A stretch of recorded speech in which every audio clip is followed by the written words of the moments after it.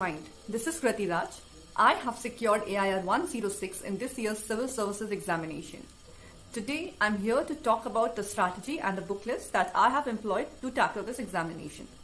Uh, सबसे पहले तो मेरे पास बहुत सारे लोगों ने ये मैसेजेस किए हैं कि स्ट्रैटेजी क्या होनी चाहिए तो मैं बता दूँ आपको कि जो मैं आपको बताने जा रही हूँ आज ये वो स्ट्रैटेजी थी जो मेरे लिए मेरे हिसाब से मैंने बनाई है खुद के अकॉर्डिंग मोल्ड की है मेरा राइटिंग स्टाइल मेरी स्ट्रेंथ्स मेरी वीकनेस पे so you do not have to copy paste it copy paste करोगे तो it will not give you the desired result you have to learn from it how to make the strategy what पे मत जाओ. देखो कि what was the underline thought process and उसको use करके उससे कुछ सीख के if you can chart your own plan कुछ अपना खुद की स्ट्रैटेजी बना सकते हो तो that is how you know वो वर्क करता है.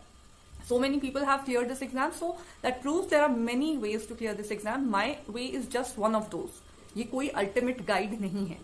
But this is something which is very true to the core जो मेरे लिए काम करी है। I would like to keep it very raw and very real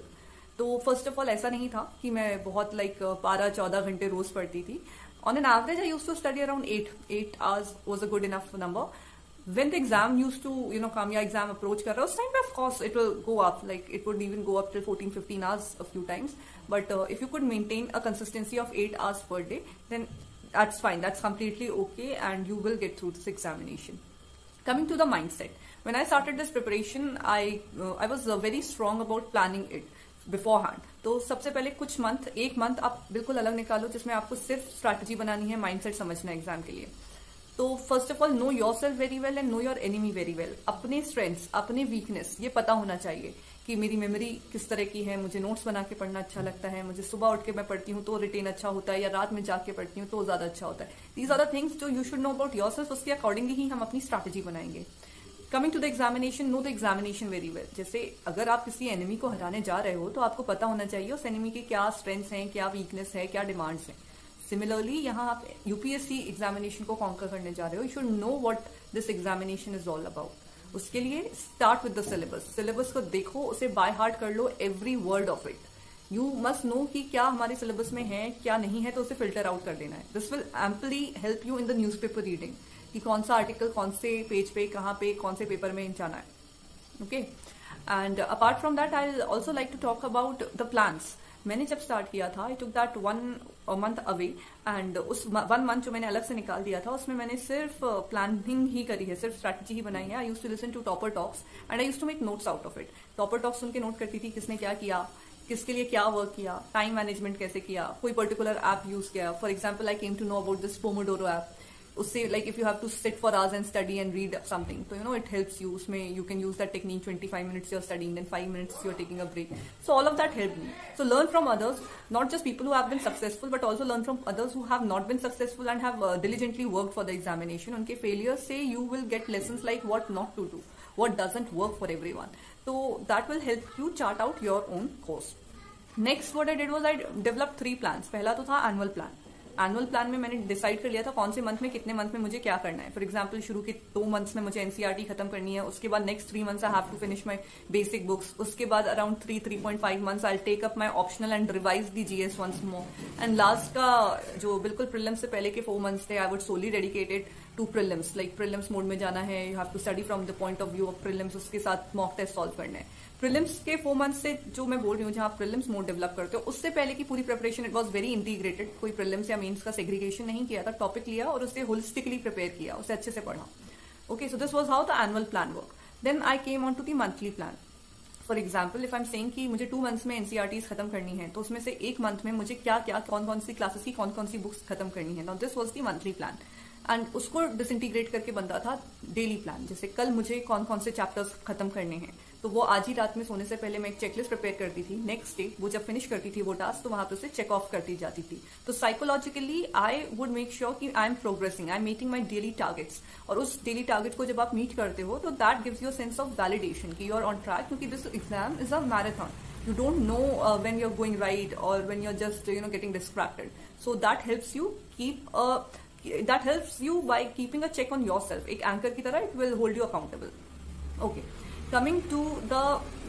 the book list now book list में मैंने बहुत मिनिमम सोर्सेज यूज़ किए हैं but I use to revise them many number of times so पहले तो sixty to seventy percent of the preparation can be done from current affairs current affairs के लिए I use to do like from two different sources सबसे पहले तो मैं news paper पढ़ती थी एंड उसके बाद मैं सेम डे जो हमारे कई सारे डेली इनिशिएटिव्स होते हैं वेबसाइट्स होती हैं, जो डेली न्यूज़ एनालिसिस निकालती हैं, वो भी कर लेती थी। I personally refer to Insights you may refer to anything like काफ़ी सारे कोचिंग की वेबसाइट्स पे you'll find daily news initiative refer to any one of them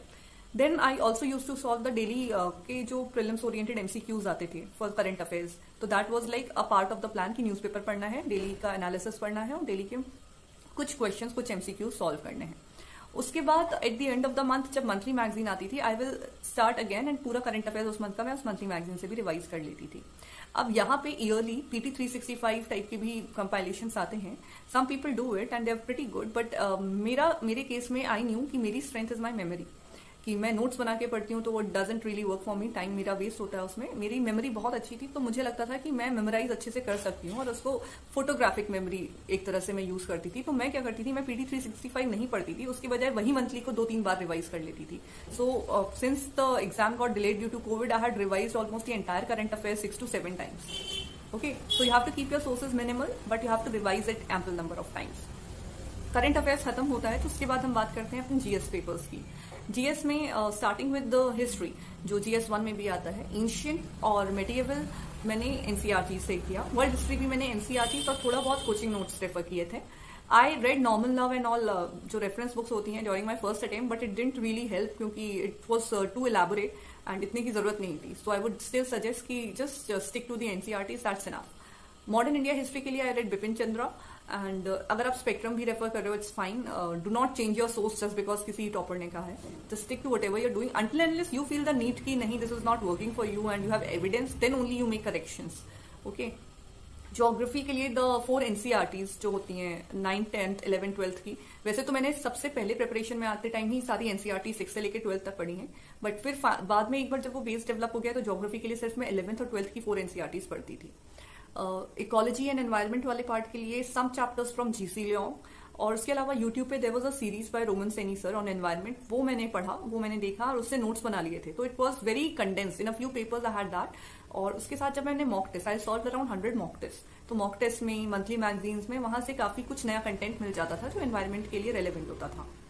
तो I kept it very minimal there it self science and technology में मैं बोलूँ तो it was solely current oriented क्योंकि मेरा बेसिक्स मतलब I have come from engineering background तो मुझे नाइन्थ या टेंथ का साइंस वापस से जाके पढ़ने की ज़रूरत नहीं पड़ी। If you feel you need to you please go back and refer the NCERTs उसके अलावा जो भी नेक्स्ट उस पर डेवलपमेंट हो रहा है, वो you can refer from the monthly magazine that's enough and newspaper में भी आता है तो just keep an eye on that okay and then there are a number of small topics like governance governance के लिए I referred Yojana magazine sometimes sometimes the schemes use to get covered in the monthly magazine and the newspaper it तो उसके लिए कुछ extra नहीं किया. You if you have a lot of time you may refer to things like India year book as well economic survey budget economic survey and budget तो I से कि वो क्विंटेसेंशियल है, वो तो करनी ही है आपको. But India year book if you are referring please just skim through it do not waste a lot of time on it Then economics के लिए again India uh, economic survey and the budget are quintessential. But then apart from that, for the basics, try and refer to some coaching notes if you could get hold of them. If you need some extra understanding के लिए, if you need some book and all, then I did not refer to it. But if you really need it, then you may go for Ramesh Singh or Sanjeev Verma sir's book. These two are very good sources. I just did some basic coaching notes उधर से मेरा static का base develop हो गया था और current में जो भी चलता था वो बजट इकोनॉमिक सर्वे और मंथली मैगजीन वगैरह से न्यूज़पेपर वगैरह से कवर हो जाता था that was enough for me apart from that uh, uh, talking about uh, subjects like disaster management and there are small topics like police reforms and all. Here i would suggest एक दिन लो और उसके syllabus से every word को Google कर लो और उसके नोट्स बना लो या फिर you can refer to some seniors notes like there are so many people जिन्होंने अपनी पीडीएफ ऑलरेडी डाल रखी हैं just go through them but don't just stick to them कि बस इतना ही करना है उस पर you have to add your own things वो किसी पर्टिकुलर ईयर में उन्होंने बनाए थे वो नोट्स उसको अपडेट कर दो for this year for the coming years even if I be putting out my notes इस चैनल पे या मेरे टेलीग्राम चैनल पे I share the link with you उस पर I will update my notes तो just whenever you using these notes ना make sure you're updating them as well make sure कि वो, उस पर्टिकुलर ईयर में when you have to write those answers तब वो रेलिवेंट हो. उसमें वो एडिशनल इन्फॉर्मेशन या जो भी डेवलपमेंट्स हुए हैं, वो सब मैंशन हो. Okay, polity के लिए I refer to Lakshmikant and uh, I think Lakshmikant is the Bible for polity. That's enough. I found it enough and I've read it ample number of times, like even nine, ten times. And even now when I read it, I find so many new insights in that book. So uh, give it a very good reading and revise it ample number of times. Then uh, coming on to subjects like ethics, GS paper 4. GS paper 4 के लिए I started reading lexicon and I found it very intensive. तो what I did was मैंने skim through करा जल्दी जल्दी Lexicon से। Important जो headings हैं, कुछ कैटेगराइजेशन हैं, कुछ थियोरिटिकल एस्पेक्ट्स हैं, कुछ टर्म्स हैं, वो मैंने हाईलाइट कर लिए और कुछ एग्जाम्पल्स डेफिनेशन ये सारी चीज़ें। इसके अलावा you'll find some seniors notes on the internet as well मेरे खुद के notes I put it out after some time as and when I find the time अभी तो थोड़ा I am little busy these days but I update that soon जहाँ पे I prepared a list of definition examples बहुत condense करके कुछ topics को cover करा है तो those notes that was the only preparation I did for ethics so that was all that I did for my general studies and हाँ एक question और जो काफ़ी लोग पूछते हैं कि what about coaching is coaching essential to clear UPSC I say it's a very individual specific thing again because it's not a very essential thing you need some sort of guidance और you need some sort of direction if you are getting it through online sources through topper talks और through any other person then that's fine you really don't need to go to coaching ऐसा नहीं कि coaching के बिना हो नहीं सकता। Coaching के बिना भी हो सकता है and you have to be very strong then in in sense of direction discipline तो just maintain that and it is very much possible one more thing is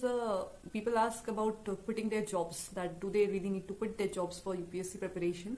now there have been so many examples where people have done this with nine to five jobs as well but in that case you have to take some very uh, you know valuable lessons in time management and you have to make sure that your job doesn't stresses you. It de-stresses you and uh, it gives you a non-upsc mode so that you can come and focus on upsc for those limited number of hours. So maybe the number of hours will be less but then it should be very focused in that case. So I hope this video is uh, helpful to you and I hope you could draw some insights that uh, take your preparation forth and I'll be very happy to help if uh, I can resolve any more queries. Kindly mention them in the comment box. If there's anything that I had not talked about and you want more clarification on that, uh, you may just uh, you know ping me in the comments uh, comment box, or you could just ping me on my Insta or uh, anywhere else, wherever you could uh, find me on social media. maybe I'll not be able to reply immediately, but as and when I find time, I would just love